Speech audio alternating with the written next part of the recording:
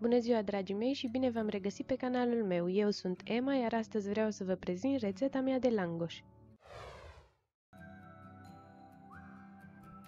Ingredientele pentru această rețetă sunt 500 de grame de făină, 170 de ml lapte călduț, 170 de ml apă călduță, 5 grame de drojdie uscată, o linguriță de zahăr, 50 de ml de ulei și 5 grame de sare. Pentru început vom pregăti maiaua. Vom adăuga zahărul, laptele și apa și drojdia uscată. Vom amesteca totul și vom lăsa la dospit timp de 10 minute.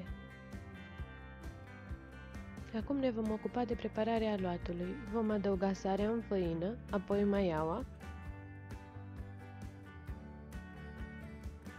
Acum vom începe să frământăm foarte bine aluatul și treptat vom adăuga uleiul.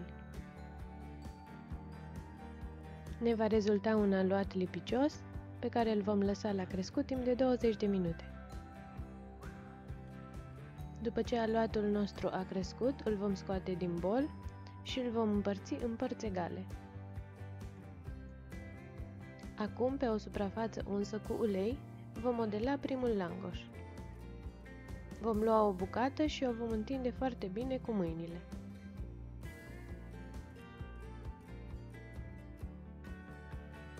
Ultimul pas este să prăjim langoșii. Într-o tigaie vom adăuga aproximativ un litru de ulei, îl vom încinge foarte bine, iar apoi vom prăji fiecare langoș pe ambele părți. Langoșii vor fi puși pe șervețele de hârtie pentru a absorbi uleiul în exces. Aceștia sunt langoșii mei, voi rupe unul să vedeți cum arată și în interior, au ieșit foarte gustoși și sper să încercați și voi rețeta.